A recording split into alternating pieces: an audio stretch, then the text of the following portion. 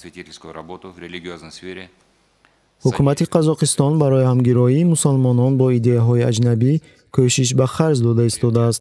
Ҳамин тавр санаи дуюми майи соли ҷорӣ вазири оид ба корҳои дин ва ҷомеаи шаҳрвандии қазоқистон нурлан ермекбаев лоиҳаи консепсияи сиёсати динӣ солҳои 2017-2020-ро пешниҳод намуд тибқи лоиҳаи мазкур давлат назорати диндоронро вусъат дода асосҳои дунявиро дар кишвар барқарор бояд кард. Ёдрас кардан зарур аст ки каме пеш президент назарбоев манъ кардани мондани риш ва пӯшидани ҳиҷобро дар сатҳи қонунгузорӣ пешниҳод карда буд. Шӯрои рӯҳониёни мусалмонон бошад пешниҳоди мазкурро бо самимият дастгирӣ намуд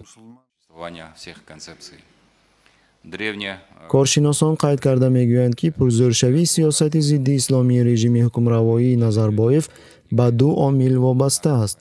Муборизаи муштарак алайҳи аз нав бунёдшавии ислом дар чорчӯбаи созмони ҳамкориҳои шонхой ва созмони паймони амнияти дастаҷамъӣ ки аз тарафи русия идора карда мешавад.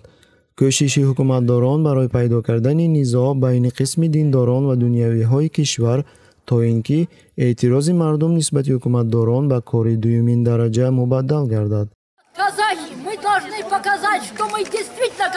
Ҷолиби диққат аст ки солҳои охир мардуми қазоқистон нисбати режим зуд зуд барои эътироз кардан ба кӯчаҳо мебароянд ки ин ҳолат назарбоевро ба таҳлука меорад. Сол болашаққа баримиз бирга